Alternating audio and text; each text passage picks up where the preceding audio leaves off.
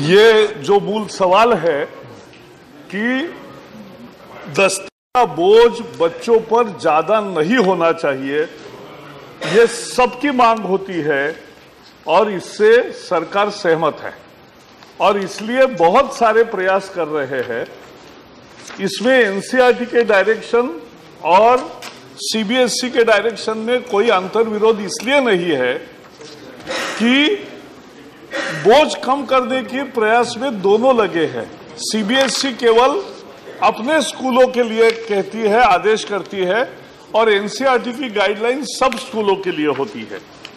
जो प्रयास हो रहे हैं तो एनसीईआरटी ने ये एक सिफारिश की कि पहले दूसरे में केवल दो बुक्स रखेंगे और तीसरी में और पांचवी तक केवल तीन किताबें रहेगी। एनसीईआरटी ने ये किताबें उपलब्ध भी कराई है जो बिल्कुल और ये ई फॉर्मेट में भी उपलब्ध है जिनको वो सुविधा लेनी है। सीबीएसई ने ये कहा कि जल्दी में आ, दो तक ज़्यादा किताबें नहीं लाई जाए और अनेक राज्यों ने जो प्रयोग किए हैं छत्तीसगढ़ ने पिछले साल के स्टूडेंट्स के किताबें स्कूल में एक सेट दिया है स्टूडेंट्स को। तो स्टूडेंट्स के नोटबुक और स्कूल में ही रहते हैं बुक्स और नोटबुक्स और घर में घर के रहते हैं तो वो विदाउट बस्ता आते हैं। और they come without bag they study in the school do school work there in those notebooks and go to home and do their notebooks so every state कर रहा है। आज ही मैंने, आज के न्यूज़पेपर में भी आया है, तेलंगाना में बस्ते के बोझ से आज़ादी।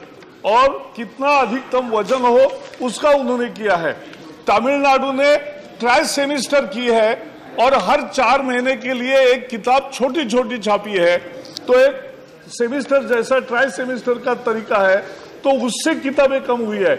महाराष्ट्र में लगभग तीस हज़ार स्कूलों में डिजिटल शिक्षा, जिसमें 2000 स्कूलों के बच्चों के हाथ में टैबलेट्स है और टैबलेट पे सारे किताबें हैं और सभी नोटबुक्स है और लिखते भी है और सीखते भी है। और उससे साथ साथ एक बड़ी बात हो रही है कि केंद्रीय विद्यालय ने भी 25 केंद्रीय विद्यालयों में इस साल आठवीं के बच्चों को टैबलेट देकर एक पायलट प्रोजेक्ट शुरू किया है।